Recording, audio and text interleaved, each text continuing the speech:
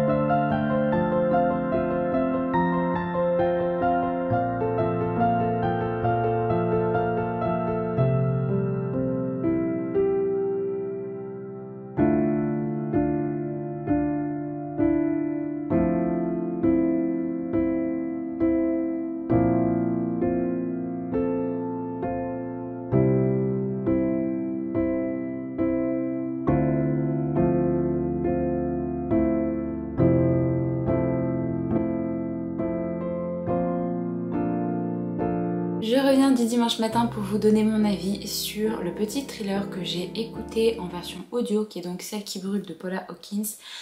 Alors, pour ce petit thriller, déjà, je dois dire que j'étais vraiment très contente parce que la voix de la narratrice était extrêmement bien, ça se, ça s'écoutait vraiment très très bien. Je trouve que c'est euh, c'est l'une des voix, je pense que je l'ai déjà entendue hein, dans un autre audiobook, mais c'est l'une des voix que j'apprécie le plus écouter parce que elle mettait pas mal d'intonation, elle essayait vraiment de, changer par rapport euh, le, par rapport au POV en fait qu'elle suivait au fur et à mesure. Et comme là on a plusieurs points de vue, c'était vraiment très chouette d'avoir euh, d'avoir ce genre de travail fait en fait en version audio.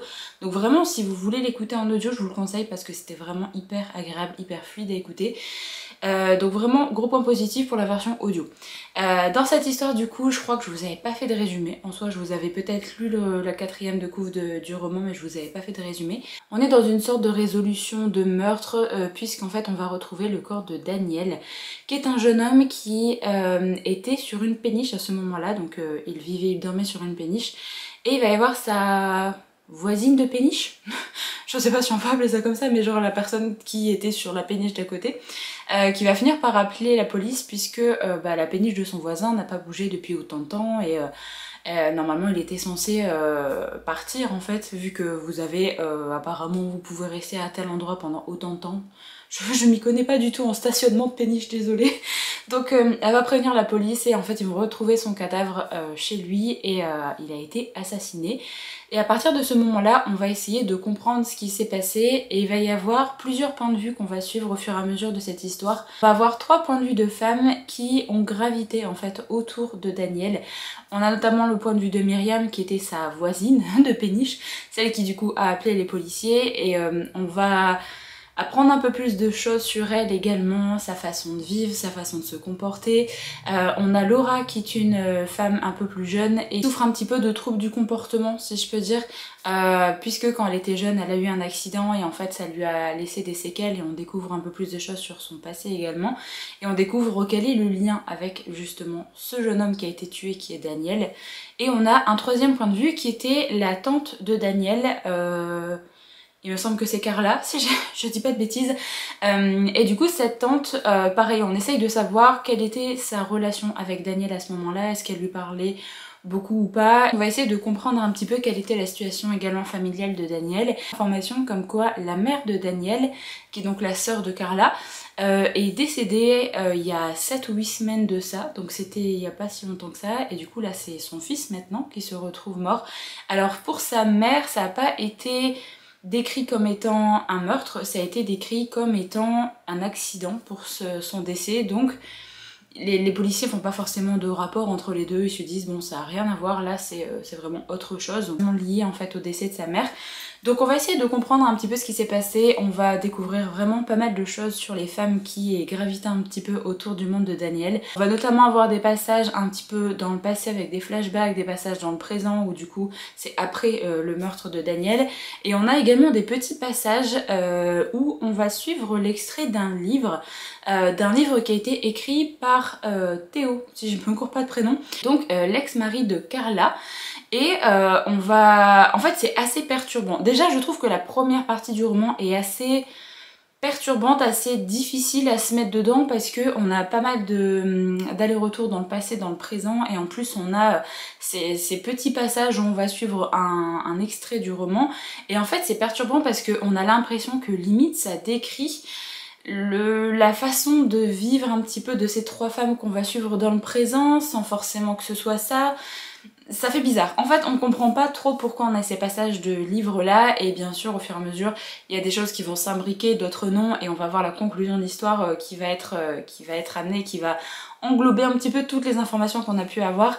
Mais vraiment la première partie du roman, je l'ai pas trouvé extraordinaire parce que j'ai eu du mal un petit peu à me plonger dedans.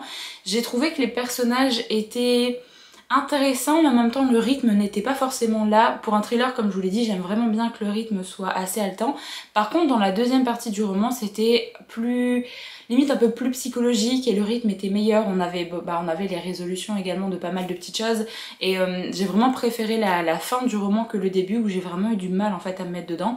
Mais en même temps c'était intriguant. J'ai vraiment trouvé que les trois femmes que l'autrice mettait en avant étaient assez intéressantes avec des caractères très opposés et il y a vraiment tout, tout un passé à chaque fois. Par exemple, Carla, qui est la tante de Daniel, elle, a perdu son enfant il y a pas mal d'années de ça, quand euh, en fait elle avait mis son enfant à garder chez sa sœur, donc qui était la mère de Daniel. Il y a eu un accident et son petit est décédé à ce moment-là. Donc il y a également un passif entre euh, Carla et sa sœur également, donc on comprend un petit peu la situation familiale. Il y a vraiment pas mal de petites choses comme ça qui viennent, euh, qui viennent s'ajouter au roman et au fur et à mesure on se dit ah oui mais du coup est-ce que ça pourrait être cette personne qui va être le suspect ou la suspecte parce qu'elle avait elle avait des, choses contre telle personne et on essaye de s'imaginer un petit peu la fin de l'histoire. Et j'ai vraiment trouvé ça hyper intéressant. Moi j'adore quand l'auteur me force à réfléchir et me force à me faire mes propres, euh, mes propres déductions par rapport à ce qu'il nous a donné ou ce qu'elle nous a donné en fait comme, euh, comme indice tout au long du roman.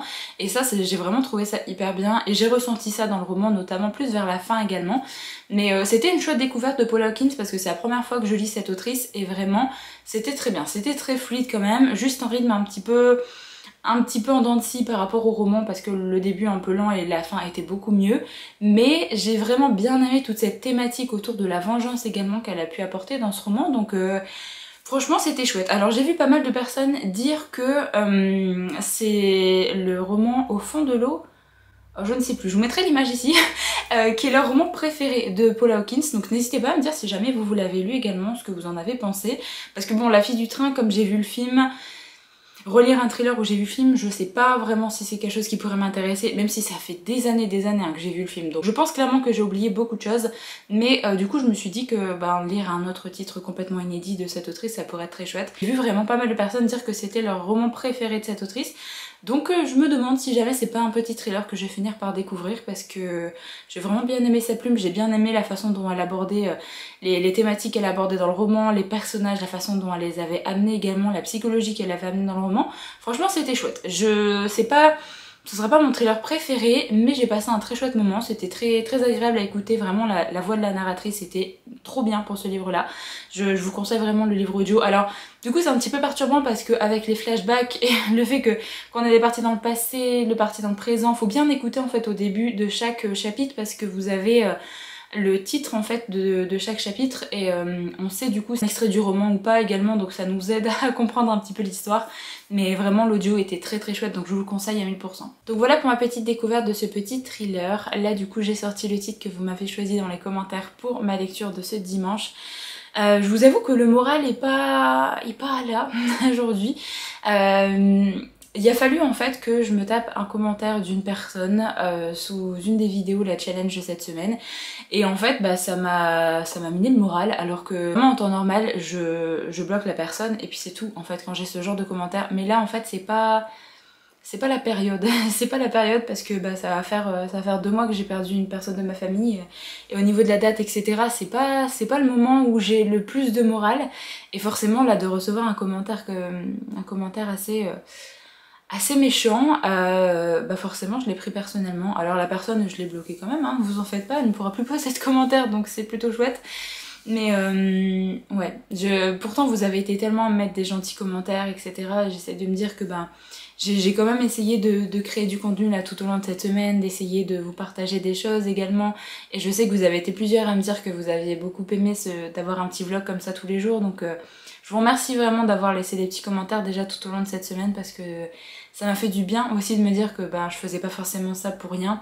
Je sais que bon, au niveau des vues, etc., c'est pas ce genre de vidéo qui ramène le plus de personnes, mais là apparemment bon, ça a ramené quelqu'un qui n'était pas du tout de notre communauté. et euh, voilà, du coup bah, je me suis tapé un gentil commentaire, ça fait toujours plaisir. Donc euh, bref, donc le moral est pas forcément là en ce moment, mais euh, enfin surtout là aujourd'hui, mais voilà, on va essayer de, lire quand même, je vais essayer de lire le roman que vous m'avez choisi là pour, euh, pour ce dimanche et finir cette dernière journée en beauté. J'espère vraiment que je vais réussir à me concentrer pour lire, je vous avoue.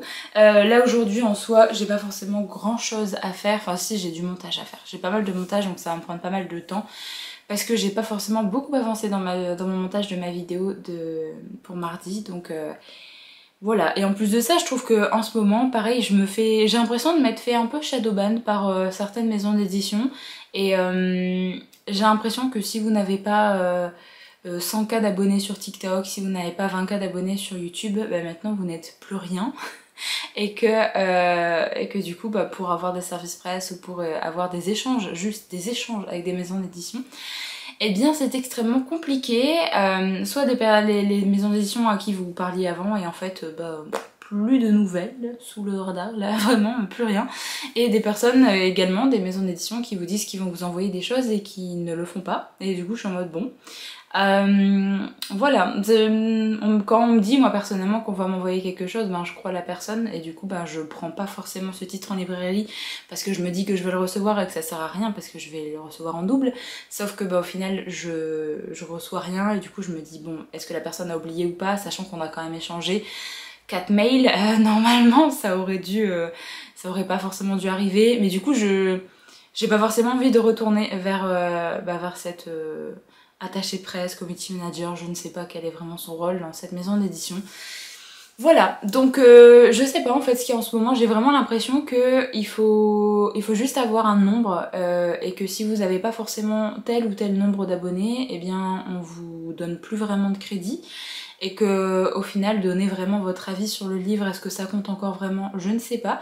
J'ai juste l'impression qu'il faut être un panneau publicitaire, il faut juste montrer le roman dans tel ou tel truc, dans un boucol, dans une palle, et qu'en fait les maisons d'édition sont contents si vous faites ça et ils attendent pas forcément le retour, euh, le retour de livre, le retour de lecture. Et franchement je trouve ça je trouve ça trop triste parce que euh, vraiment les, les, reviews de livres, les, euh, les avis lecture, c'est quand même ça en fait euh, qui nous a amené sur, sur les réseaux sociaux de base et qui nous, nous fait craquer en fait sur tel ou tel livre. Alors c'est clair que des fois, juste avec un petit résumé, etc., juste la couverture, ça peut nous faire craquer, c'est normal.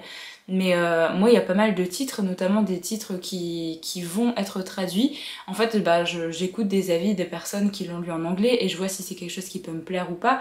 Mais c'est les avis que j'écoute, c'est pas forcément juste parce qu'elle l'a présenté dans un bookall que ça va me faire craquer. Je sais pas, j'ai vraiment l'impression qu'on on a passé un tournant là avec, euh, avec les maisons d'édition où c'est clairement devenu juste euh, commercial, commercial, commercial, mais encore plus qu'avant où du coup les maisons d'édition bah ils font juste des, des reliés et tout le monde achète. Mais du coup euh, les gens se plaignent du prix mais du coup tout le monde achète. Donc les maisons d'édition bah, ne vont pas baisser le prix.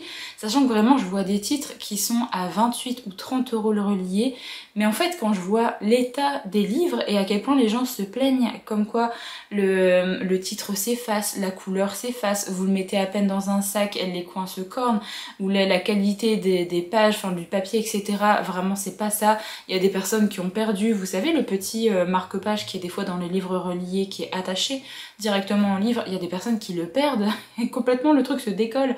Je me dis, vous payez quasiment 30 euros un livre relié pour une qualité aussi médiocre. Et je me dis, des fois, quand j'achète des reliés, même en anglais, bah, la qualité c'est pas la même, hein. vraiment, euh, et les reliés, euh, des fois en anglais, euh, bah, il y en a qui sont à 20 euros, aux alentours de 20 euros. Alors pas tous, je sais qu'il y a des reliés qui sont très chers, mais vous n'avez pas forcément cette norme de prix où chaque relié eh ben, peut être... Là, j'ai l'impression que c'est 26 euros minimum le relié, de toute façon, 25,90, donc on va dire 26 euros, et que ça peut monter jusqu'à 30 euros. Mais je me dis, mais pour un livre avec une qualité comme ça, bah, ça fait mal aux fesses quand même, ça fait mal aux fesses. Et euh, du coup je comprends pas en fait les gens qui se plaignent mais qui continuent à acheter et qui et en fait, je me dis, c'est à nous aussi de, changer les choses et c'est en tant que consommateur. On n'est pas content, eh bien, il suffit de ne plus acheter, de ne plus euh, donner d'argent en fait à ces maisons d'édition-là qui font pas forcément l'effort sur les, les, matières premières qu'ils utilisent pour faire les livres. C'est vraiment dommage parce qu'il y a pas mal de personnes qui se plaignent, mais du coup, bah, il y a rien qui change parce que bah, tout le monde continue d'acheter en soi et c'est normal parce que on a tellement attendu longtemps en France pour avoir des, euh, jolis livres, pas avoir des couvertures qui soient cringe, pas avoir des mecs torse nu sur des couvertures de romance, face ce genre de choses, je me dis c'est normal en fait que les gens aussi euh, soient contents d'avoir des jolis livres et je comprends. Mais euh, il faut pas nous prendre pour des pigeons non plus. Donc euh, il y a un juste milieu, je trouve il y a un juste milieu à avoir avec les maisons d'édition parce que de toute façon elles elles recherchent qu'à faire des ventes. Et c'est le sentiment que j'ai maintenant hein, pour demander des services presse de toute façon c'est que si vous n'avez pas assez d'abonnés, si vous n'êtes pas assez je sais pas, vous n'avez pas juste pas un certain nombre, hein, de toute façon vous n'êtes pas un assez grand panneau publicitaire donc euh, bah, on vous oublie un petit peu, voilà. Et il n'y a plus vraiment ce, rapport je trouve qu'il y avait avant avec les maisons d'édition où, euh, Par exemple, bah, il y, a des maisons d'édition qui ne repostent euh, quasiment plus d'avis de gens. Genre vraiment, je vois en fait, c'est... Euh, euh, ils repostent des fois des réels d'unboxing, des réels de, de, choses comme ça, ou des photos en mode ah la réception du jour, etc. Mais il y a des maisons d'édition, vraiment, elles ne repostent plus d'avis. Ou alors, elles postent les avis, vous savez, qui sont un peu achetés aux autres auteurs, ou par exemple sur certains livres de thriller, vous avez un truc en mode ah, Stephen King a dit que c'était le thriller de cette année à lire. Bref, euh, du coup, il repose ce genre de choses. Je suis un petit peu dépitée quand je vois ça. Donc, euh, bref, en soi, je, ouais, j'arrive pas forcément à, trouver ma place un petit peu là sur les réseaux en ce moment.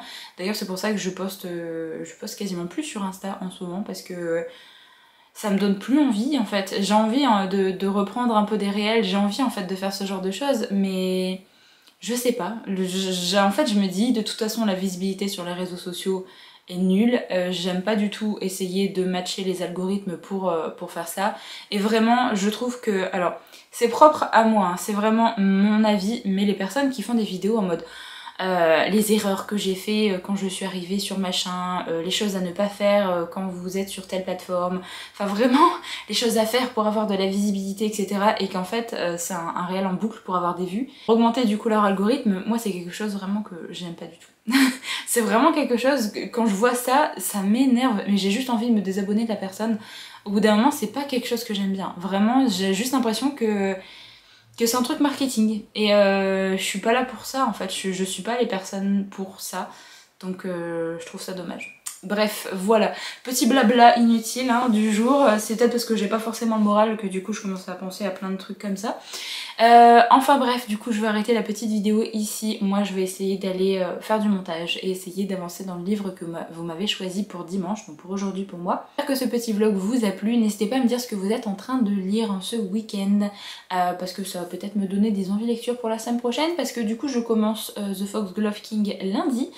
Et euh, je sais pas encore si je vais lire autre chose parce que là en fait je me rends compte que je suis quand même dans un bon mood de lecture donc peut-être que je vais lire The Fox Glove King assez rapidement et peut-être que je vais lire autre chose la semaine prochaine. N'hésitez pas à me dire si jamais vous avez eu une très très bonne lecture cette semaine ou ce que vous êtes en train de lire en ce moment et est-ce que vous aimez votre lecture? Est-ce que vous avez craqué sur des nouveautés cette semaine? Euh, Parce que moi vous avez vu que j'ai craqué quand même sur quelques sorties cette semaine donc n'hésitez pas à me dire ça dans les commentaires, je suis toujours curieuse. Bon du coup moi je vous retrouve dès demain pour le tout dernier reading vlog de ce petit challenge. J'espère vraiment que vous allez passer un bon dimanche, enfin un bon fin, une bonne fin de dimanche pour vous parce que vous allez voir la vidéo qu'à 16h. Mais euh, j'espère que vous avez passé un bon week-end et n'hésitez pas à faire une petite soirée très chill si jamais vous reprenez le boulot demain. Je sais qu'avec le lundi qui est férié pour certains mais pas forcément pour d'autres, peut-être que vous avez un week-end de 3 jours. Mais c'est le cas, j'espère que vous allez passer un bon lundi également, que vous allez pouvoir vous reposer ou faire des choses que vous aimez. Enfin bref, moi je vous retrouve dès demain pour le dernier reading vlog. Donc en attendant, prenez soin de vous.